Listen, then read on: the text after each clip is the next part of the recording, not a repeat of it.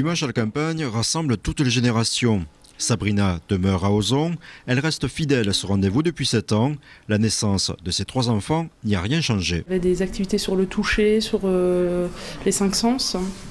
Et, euh, et, il y avait aussi une librairie jeunesse qui proposait plein de, produits dérivés sur la ferme.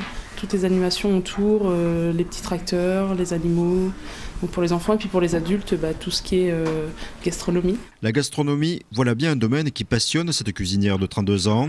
Chaque année, elle recherche une nouvelle trouvaille. Oui, il y a notamment les confitures. Les confitures à la gelée de champagne. Ils ont tout un, toute une gamme toute une gamme différente. Et euh, sinon, oui, il y a des lentilles, hein, des lentilles euh, direct euh, producteurs. Adrien et Raymond sont âgés de 85 et 82 ans. Toujours curieux, deux jours avant le dimanche à la campagne, Adrien se charge du parcours pour toute la famille. Résident à Troyes, ce rendez-vous est source d'émerveillement et de plaisir. La première année, on avait emmené deux petits-enfants qui étaient émerveillés de rentrer dans les étables et voir les animaux de si près.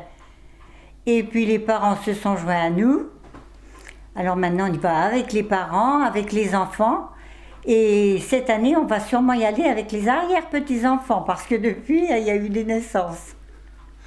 Et moi, j'aime bien les réunions de famille tout ce qui se passe de nouveau dans les fermes. J'aime bien tout ce qui est moderne, tout ce qui est, tout ce que, comment, la manière de travailler, c'est changé complètement avec le, avec le temps que j'étais au champ. C'est pas, pas du tout pareil. Je ne travaille pas du tout pareil, les cultivateurs. Hein. Jean-Louis est un cultivateur en retraite, appelé d'air. Si cet ancien producteur laitier et céréalier connaît bien la campagne, il ne rate jamais ce rendez-vous pour se détendre et savourer des produits locaux avec ses amis. C'est déjà un repas, c'est convivial et puis, euh, et puis au moins. Ma femme n'a pas à à manger d'abord, ce dimanche-là. on prend des plats différents et on picore euh, chacun euh, dans le, dans du voisin pour arriver à avoir tous les. à, goûter tout ce qui est prévu au menu, si vous voulez. Hein. On n'a pas de retenue, si vous voulez. Hein.